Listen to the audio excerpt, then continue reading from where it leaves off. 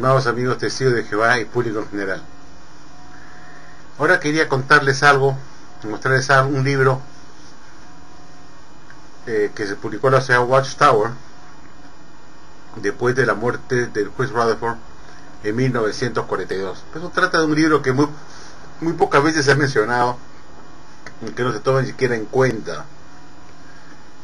Antes de mostrar este libro, quería hacer una recapitulación, pues, ya todos sabemos que el juez Rutherford fue conocido, pues, por su gran, este,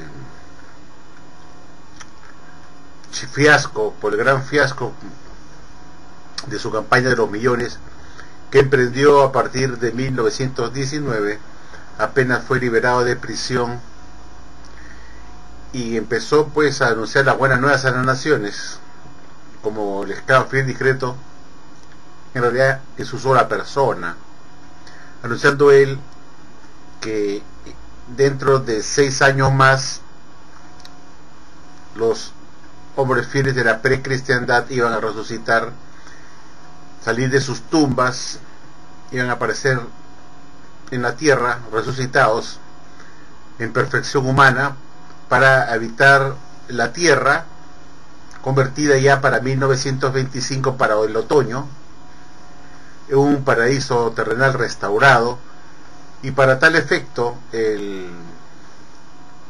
el juez Rutherford este, aseguró a las personas pues en su campaña de los millones que estos señores resucitarían en 1925 algo que no sucedió evidentemente.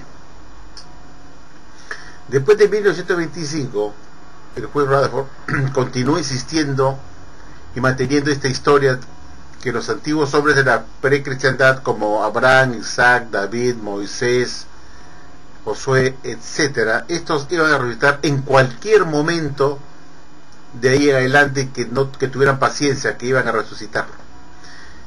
Para el año de 1927, el juez Rutherford compró una, una extensión de terreno muy grande, equivalente a 100 acres, en San Diego, California, y ahí construyó en el año de 1930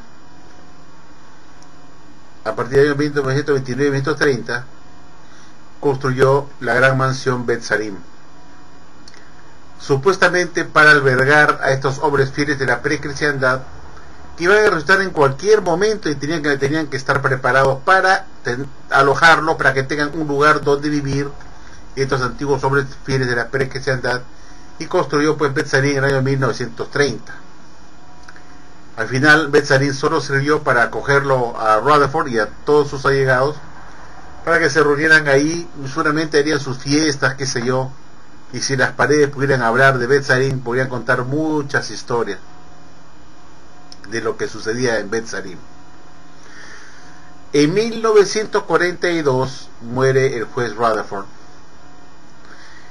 y la sociedad Watchtower publica un libro que muy pocos testigos conocen, que muy, muy pocos testigos conocen y que realmente muy poco se habla de él. Y se llama el libro El Nuevo Mundo. No sé si quizás muy pocas personas lo han visto o lo han escuchado de este libro. Se llama The New World, como pueden ver ustedes.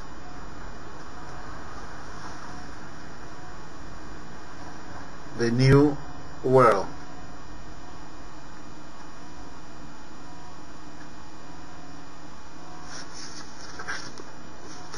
Bien, voy a ver bien. Se puede mejor. The New World. Este libro fue escrito en 1942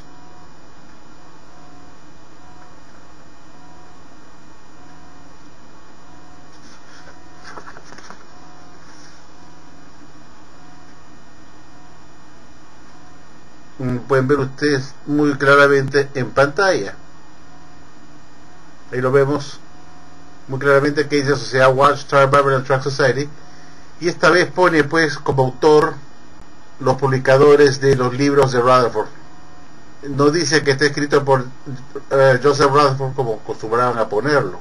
anteriormente en los libros que ven ustedes ahí, dice, esos libros que dicen que están enumerados ahí, listados, fueron escritos por el juez Rutherford y aparece su nombre en estos libros, como el libro pues que ven ahí, pues Children, Religión, Profecía, Salvación, Riquezas, Gobierno y otros libros, todos tienen el nombre de juez Rutherford, pero este de acá, que es el año 142, ya no figura el nombre del juez Rutherford, sino de los publicadores de esos libros, es decir, o sea, Watchtower. Eso evidencia pues que el juez Rutherford no escribió este libro, en el año de 1942 y que salió al mercado para ser vendido a las naciones como alimento espiritual y para el estudio de sus propios miembros.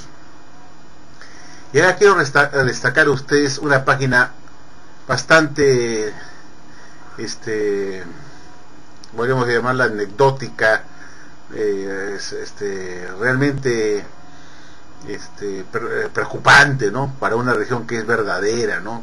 Que se supone está dirigida por Espíritu Santo, como dice la ciudad Watchtower, y que dio pues este dio luz verde para que se publicara en 1942 esta información en esta página 104 que les quiero mostrar a ustedes. Aquí tenemos pues, el libro El Nuevo Mundo, ¿no? que tenemos acá, New World, The New World, y acá en la página 104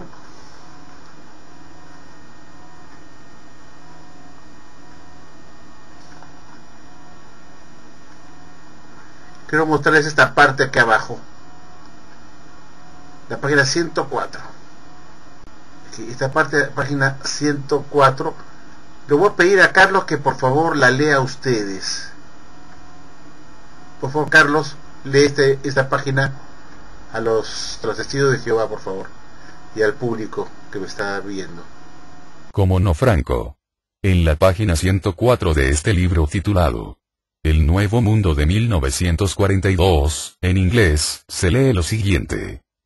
El Señor Jesús ha venido ahora a su templo para el juicio, y el resto de los miembros de su cuerpo, aún en la tierra, Él los ha reunido en la condición del templo, en unión perfecta consigo mismo, Malaquías 3, 1, 3, y por lo tanto se puede esperar que los hombres fieles de la antigüedad regresen de entre los muertos en cualquier momento. Las escrituras dan buena razón para creer que será dentro de poco, dentro de poco, dentro de poco antes de que empiece el Armagedón. En esta expectativa, la casa en San Diego, California, cuya casa ha sido muy publicitada con mala intención por los enemigos religiosos, fue construida en 1930, y llamada Belsarim, que significa Casa de los Príncipes. Ahora se mantiene la mansión en fideicomiso para la ocupación de los príncipes a su regreso. Los más recientes hechos demuestran que los religiosos de este mundo condenado están rechinando los dientes, rechinando sus dientes, rechinando sus dientes debido al testimonio que esa casa de los príncipes lleva al nuevo mundo.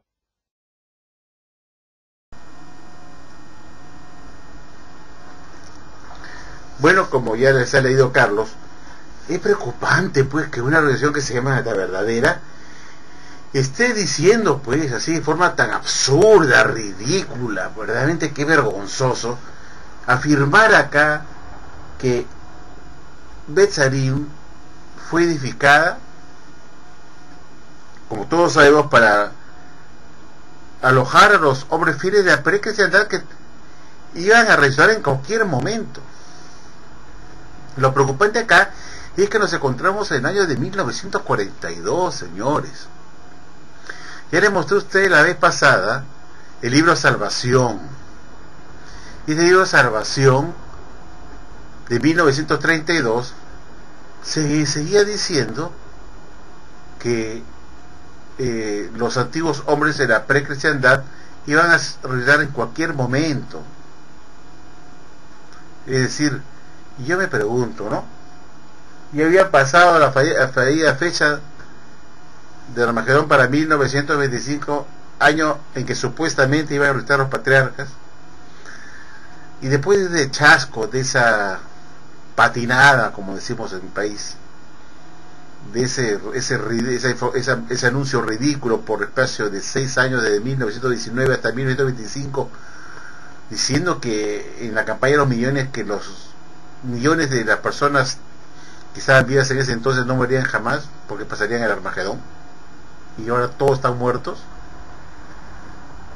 Y después de 1925, después de seis años de estar engañando a la gente, este sinvergüenza de Rutherford decía en 1932 el libro de Salvación que todavía faltaba faltaba este eh, faltaba poco para que en cualquier momento resucitaran los patriarcas y que tuvieran paciencia. Salvación, el juez Rutherford sigue insistiendo, pues, explicando por qué, por qué se construyó Betzarim, pues.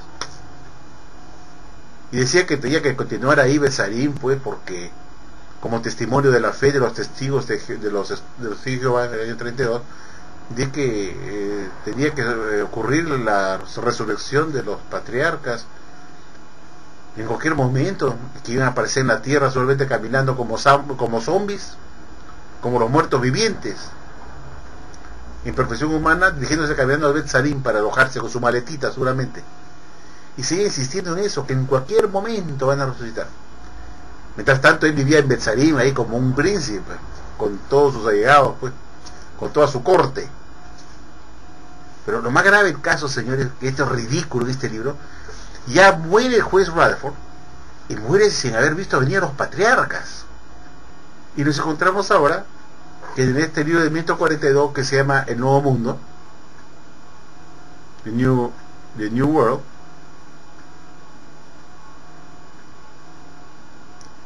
nos encontramos que en la página 104 tiene el coraje de decir que en cualquier momento van a reeditar los patriarcas de, ahí, eh, de 1942, en unos meses más, en corto plazo, dice, van a reeditar los patriarcas. Y que las religiones falsas habían hecho mofa injusta de Betzarim. Las religiones falsas, mofa de Betzarim. Y que las religiones falsas le rechinaba los dientes de la rabia, porque Besarim mostraba la fe y la convicción de los testigos de Jehová de que los antiguos hombres de la cristiandad iban a arreglar en cualquier momento, y ese era motivo de envidia, de, de rabia, de que le crujieran los dientes a las religiones falsas, es decir, que estaban envidiosas las religiones falsas porque Ben era testimonio para los testigos de de su profecía que iba a ocurrir en cualquier momento en 1942 en adelante. La misma historia desde 1919, que 1925, donde están los hombres fieles de cristiandad para 1925. En el libro Salvación, después Bradford Bohr insistir en eso, lo tenía metido en la cabeza, insistiendo que los patriarcas tenían que resucitar y que tenía que mantenerse Betzarim, y él estaba esperando en la puerta principal seguramente mirando hacia el horizonte, donde estarán pues a David, Abraham, Isaac, ahí mirando. Y que esperen, esperen, en cualquier momento van a venir. Mientras tanto él vivía ahí como un duque. Y justificó la construcción con el cuento chino de que iban a estar los patriarcas. Y él vivía ahí como gran señor. Y nos encontramos pues que se muere pues el juez Radford y la ciudad Tower sigue haciendo eco a esa torpeza, a esa ridiculez en el 1942 y publica este libro pues El Nuevo Mundo y en la página 104 dice pues que las religiones falsas injustamente han criticado a Betzarim que era que servía como prueba y como testimonio al mundo de la fe de los testigos de Jehová de la resurrección venidera de los antiguos hombres fieles de la precristiandad y que su odio y su cólera hacía que le rechinaran los dientes a religiones falsas ¿Se imaginan ustedes? Y este es el alimento que le da Jesucristo a, su esclavo. Han pasado 72 años. Perdón, han pasado 70 años, casi 70 años. Y los patriarcas todavía no aparecen. Señores. En cualquier momento, ya hemos leído, leyó Carlos, que en cualquier momento van a resucitar los patriarcas seguían con esa cantaleta, pues que los patriarcas se resucitar. De año 1942, después de 17 años de la fallida fecha del fin para 1925 y seguía insistiendo que los patriarcas iban a aparecer por ahí pues como, como los muertos vivientes caminando como zombies dirigiéndose a Betzarim para tomar sus cuartos, sus, sus, sus habitaciones. ¿Y esta religión verdadera? Seis años después de la publicación de este libro chatarra que jamás se volvió a publicar y, ahora ni se vende. Si fueron verdades de Dios, ¿por qué están descartadas y tiradas a la basura? Porque la ciudad Guastral le da esta vergüenza a este libro. Mostrar esa ridiculez de alimento espiritual, diciendo que la religión, es falsa estaba envidiosa por la Guastral y que Beth Salín era el testimonio de la fe de los testigos de Jehová que iban a visitar los patriarcas y que y eso les daba cólera a la religión falsa y que le criticaron criticaron feo, muy feo la Watchtower por haber edificado Betzarim, injustamente criticada, dice Betzarim, injustamente criticada por las religiones falsas, por la construcción de Betzarim que sirvió como testimonio de la fe de Jehová, de la resurrección de los patriarcas, es que iba a ocurrir en cualquier momento, que pena más, que pena religiones falsas. Seis años después, la Watchtower vendió en forma fiel y discreta Betzarim en 1948. Se hizo de Betzarim. Y poco tiempo después se deshizo de Bet Shan también. Entonces, señores, te dije, Jehová, ¿quién puede creer que esta religión es verdadera, que se les dirigía por Jesucristo? Diciendo que iba a resucitar en cualquier momento, a partir de 1942, todavía falta, esperen, esperen, esperen. Y el año 1948, en forma fiel y discreta, venden Betzarim. ¿Cómo? ¿No dice que iba a resucitar en cualquier momento? Claro, pues se dieron cuenta que esto era un cuentazo, pues esto era, un, era una leyenda, un mito, eso de la, de la resurrección de los patriarcas, pues. Y seguía insistiendo después de 15 años de la fallida fecha de 1925 que los patriarcas iban, iban a resucitar en cualquier momento. Y me pregunto, ¿podría aceptar el Rutherford pues que era loquito, no era loquito y seguía con la misma cantaleta de que van a estar los patriarcas en cualquier momento?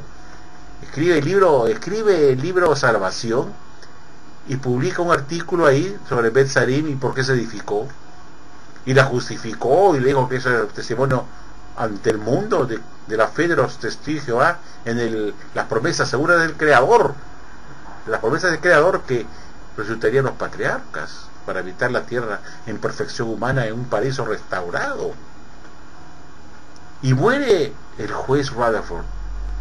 Y tenemos que publican este libro recién salido del horno, que es el equivalente al misterio terminado con Russell, que es el que publicó después de su muerte en 1917, el libro, en 1917, Russell en 1916, el primer libro que saca Rutherford es el misterio terminado. Igual ocurre con este libro, apenas muere Rutherford, sacan este libro que se llama Nuevo Mundo, escrito por, por los que sucedieron a Rutherford que eran los publicadores, dice, los publicadores de los libros de Rutherford. No dice quién es, quién es el, no dice el esclavo discreto, los publicadores, publicadores de los libros de Rutherford. Ya no aparece el nombre de él. Entonces es el primer libro que se publica después de la muerte del juez Rutherford, donde los que suceden a siguen con la pantaleta, como hemos leído acá, y lo vamos a volver a repetir otra vez. Vamos a leer, por favor, Carlos, lee esta es la página 104 que está acá la página 104, creo que es la que está acá arriba, esta que está acá, le voy a pedir por favor, acá 104, vuelve a leer otra vez. Carlos, por favor, lee otra vez. Como no Franco. En la página 104 de este libro titulado El Nuevo Mundo de 1942, en inglés, se lee lo siguiente. El Señor Jesús ha venido ahora a su templo para el juicio, y el resto de los miembros de su cuerpo, aún en la tierra, Él los ha reunido en la condición del templo, en unión perfecta consigo mismo, Malaquías 3, 1, 3, y por lo tanto se puede esperar que los hombres fieles de la antigüedad regresen de entre los muertos en cualquier momento. Las escrituras dan buena razón para creer que será dentro de poco, dentro de poco, dentro de poco antes de que empiece el Armagedón. En esta expectativa, la casa en San Diego, California, cuya casa ha sido muy publicitada con mala intención por los enemigos religiosos, fue construida en 1930, y llamada Belsarim, que significa Casa de los Príncipes. Ahora se mantiene la mansión en fideicomiso para la ocupación de los príncipes a su regreso. Los más recientes hechos demuestran que los religiosos de este mundo condenado están rechinando los dientes, rechinando sus dientes, rechinando sus dientes debido al testimonio que esa casa de los príncipes lleva al nuevo mundo. ya lo vieron otra vez. No es posible que esté diciendo eh, la ciudad de Watchtower en 1942 que las religiones falsas tienen envidia y, han criticado injustamente a Bet Sarim porque tienen envidia y le rechinan los dientes de odio, así, se rechinar de dientes, de cólera, como si le tuvieran envidia porque tiene, porque Betzarim es un testimonio de Dios, de la fe de, de los cristianos verdaderos, por las promesas seguras del Creador de resucitar los patriarcas. Y seis años después, en 1948, después de publicado este libro, seis años después, dijeron, este es un cuentazo, esto es Betzarim, que, que los patriarcas, tiremos al tacho Betzarim, olvidemos, saquemos de la historia vergonzosa de nuestra organización, saquemos de la historia vergonzosa, eliminemos, vendamos todo en secreto que nadie se entere. Y tal, tanto es así que el año de 1948 la sociedad Watchtower vendió Betzarim en forma fiel y discreta, sin hacer mucho ruido, para borrar un bochornoso episodio de su pasado, de su historia, del juez Rutherford. Besarim solamente sirvió como testimonio no de Jehová, sino de la falsa, del valor en efectivo de la falsa profecía de 1925, de lo que costó esa mansión. Entonces, amigos, decir Jehová, y yo te pregunto, ¿usted sigue creyendo que esta religión verdadera? Entonces la pregunta es, ¿por qué no se sigue vendiendo este libro? ¿Por qué no se publica el Nuevo Mundo? Pues debería estar publicándose ahora, si fueron la verdad de Jesucristo, que da su esclavo como luz, como alimento espiritual, debería seguir pues publicándose este libro, pues no queda vergüenza, pues.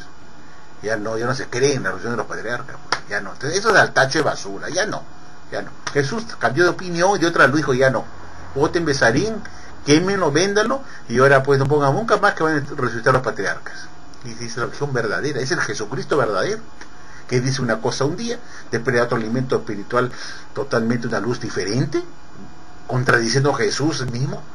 Entonces, lo lógico es que los lo lógico es pensar que los que el esclavo, esa clase de esclavo, ya no podrían confiar en Jesús, pues. Nos ha defraudado muchas veces, nos dice una cosa, después nos cambian, dice, no, ya, ya no, yo no hermanos patriarcas, que me véndalo, y, y, vamos ahora, ni mencionen más la resurrección de los patriarcas. ¿Quién va a creer que está dirigido por el Espíritu Santo? Pues no me hagan reír que se me arruga el ombligo. Y para culminar, para, para dar un, fin gracioso a este video, quiero que mostrarles a ustedes una atalaya muy curiosa que publicó la ciudad Watchtower en el 15 de febrero de 1955 en inglés con respecto eh, a, cuál, es la, cuál es la religión correcta. Le voy a pedir a Carlos que lo lea y no se olviden pues señores que esta, esta revista es, este, con este comentario que ustedes van a ver que es bastante curioso, fue publicado antes de la fallida profecía del fin para 1975 y después de la 1975 de la fecha fallida para el fin del mundo antes que termine el siglo XX. Porque la señora Watchtower estaba convencida que si, si bien no vino el fin del mundo para 1975 como anunció Franz, estaba segura pues que la generación que duraba 80 años iba a terminar y que había eh, la generación de 1914 que dura 80 años tendría que terminar por lo menos en 1994 como fecha tope que se cumple la generación de 80 años porque esa gente no tenía que ver el Armagedón y no morir esa generación los que quedaban vivos. Y pensaba pues que como máximo tendría que llegar el Magedón para 1994, pues antes que terminara el siglo XX. Obviamente porque pensaban pues que, que, la generación que vieron los acontecimientos de 1914, que duró 80 años, culminaría en 1994. Entonces, cuando se publica este artículo que se van a leer, la ciudad de no sabía, pues, ni tenía idea que no se iba a cumplir la profecía del Armagedón para 1975 y, y después la, de, la del antes que terminara el año 2000. Veamos pues Carlos Leles, para que se rían un poco los testigos de que se en este video, la, la, pretensión y la soberbia de la Watchtower cuando publicó esta atalaya de febrero de 1955. Por favor, Carlos Leles a los testigos de Jehová al público. Aquí podemos ver el CD-ROM de la biblioteca de la Sociedad Watchtower con la atalaya del 15 de febrero de 1955, página 124, párrafo 20, en inglés que se lee como sigue. La única religión correcta. Esa única religión verdadera que resta es la de los testigos de Jehová. No es presuntuoso para nosotros decir eso. Por supuesto, creemos que estamos en lo correcto. Todos los católicos, cada bautista, cada metodista, cada anglicano, o cualquiera de cualquier religión debe pensar que su religión es la religión verdadera. No es presunción creer que así sea, ya que sería una hipocresía pensar de otra manera, afirmando creer en lo que en realidad no creen. Pero nuestra creencia debe tener bases sólidas, no a los líderes religiosos, no en los sistemas religiosos, pero en la Biblia. Debemos asegurarnos que nuestra religión hable de acuerdo a la ley y al testimonio antes de aferrarnos a ella. Asegúrense de todas las cosas, adhiéranse a lo que es correcto. Si nos damos cuenta que nuestra religión está enseñando lo que no es correcto, debemos dejar de lado esa religión. Repito esto nuevamente, presten atención. Si nos damos cuenta que nuestra religión está enseñando lo que no es correcto, no es correcto, no es correcto, debemos dejar de lado esa religión. La eliminación de lo arriba mencionado tiró abajo a las religiones, solo sobre la base de una falsa doctrina, pero en realidad cada una de esas falsas religiones se derrumban en muchos otros aspectos. Lo anterior es solo un anticipo de las pruebas. Investigaciones posteriores más a fondo de las escrituras proporcionará abrumadora confirmación. Primera a los Tesalonicenses 5, 21, versión del Nuevo Mundo. Bueno, ya vieron. La Shewa Tower estaba segura, pues, que era la única religión verdadera y que te dijo que no era soberbia ni presunción afirmar eso y que estaba, que eso era lo que toda persona normal haría por su religión, cree que es la verdadera. Está bien, pues Jehová tenían derecho a decir que es verdadera, como lo dicen las demás religiones. Pero viene en retrospectiva lo que se publicó en 1955, señores, hace, 60, hace 55 años atrás. Y viendo ahora todas estas fechas falsas de Armagedón que vinieron después de 1955, esta publicación se ve pues risible, se ve ya que es una farsa y realmente una soberbia y una pretensión haber dicho que son la única religión verdadera. Claro, ¿quién dice que es religión verdadera? El esclavo discreto. ¿Y por qué tengo que creerlo? Porque lo dice el esclavo discreto. ¿Y quién es el esclavo discreto? Es, el conducto que Dios está usando en la tierra para dar alimento a sus domésticos a su propio tiempo. ¿Y quién lo dice? El cuerpo gobernante. ¿Y por qué tengo que creer eso? Porque lo dice el cuerpo gobernante. Entonces, señores, si ustedes revisan, pues, ya ponen a ustedes a analizar esta atalaya que les he leído, realmente, pues, que esta es la región verdadera, el tiempo demostró, Guastra no pudo pasar la, la prueba del tiempo. Y esa doctrina de la declaración de 1914, que no pasaría sin ver antes de Armagedón, resultó ser pues una, un fiasco. Porque todos los que vieron la declaración, vieron estuvieron en el 2014 y vieron los acontecimientos de 2014 ya están todos muertos. Van a ser 20 años desde que terminó la generación de 80 años que vieron los acontecimientos de 2014 en 1994. Van a ser 20 años que estos están muertos. ¿Y qué se demostró? Que era la religión verdadera como afirmaba pretenciosamente la Watchtower en 1985. Demostró que era una religión falsa más.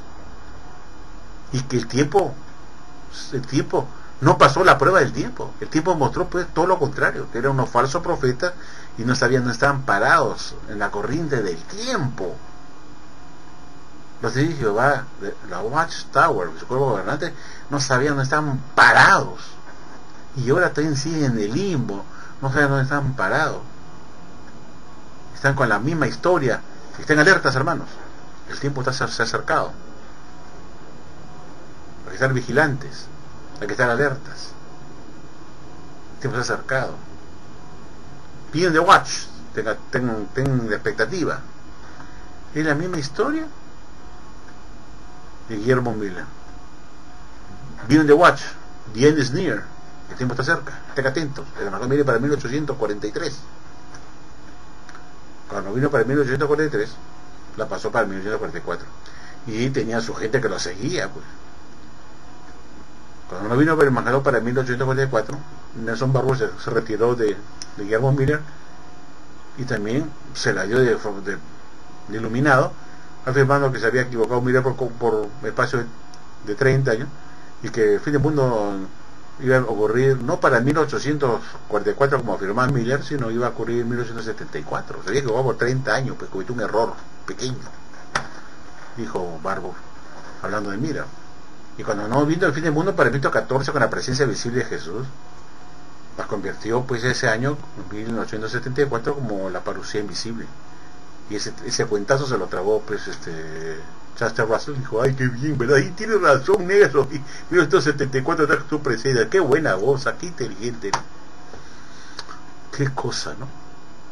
Y después tiene el coraje de decir, pues, que Russell fue el escogido para iniciar la, la obra de Ya Buenas Nuevas Naciones en 1979 con la Watchtower Bible and Trust Society fundada originalmente ya en 1884 con una razón social como empresa con acciones, con directores, todo.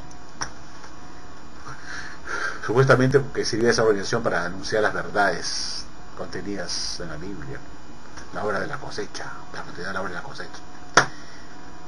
Y vemos la realidad que el tiempo demostró que esta religión no es verdadera, es una religión falsa.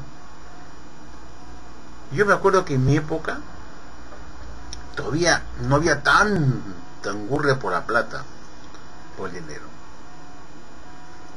se contaba el cuento pues de que acá nos hacen colectas. Nada más hay un letrerito. No existían cajitas para para la obra mundial, ni para zonas de reino, ni para este, casos fortuitos, terremotos, para construcción de siniestros. ¿no? En esa época se contentaban todavía de la Watchtower en que tú pongas tu platita en la cajita de contribuciones, hay una cajita de contribuciones, estoy hablando de los años 60, señores, ¿ah?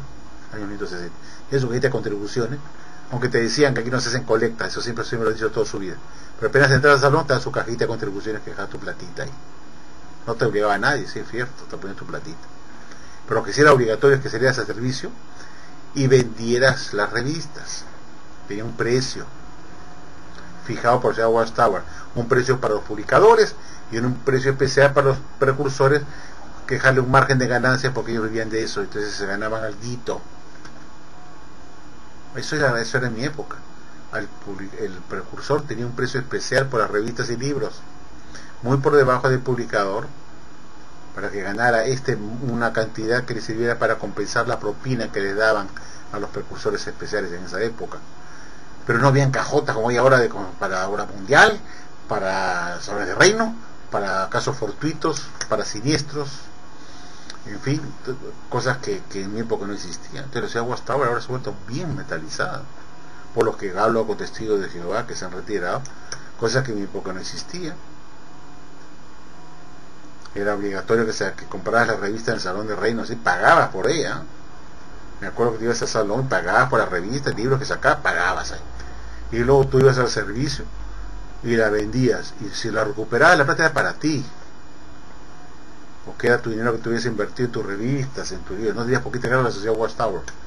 Era vende tú la sociedad no te obligaba a que tú devolvieras y pusieras un sobrecito como donativo como no tal como hacen ahora no que no le permiten al testigo de Jehová resarcirse de lo que ya pagó de esa literatura al retirarla del siervo de literatura.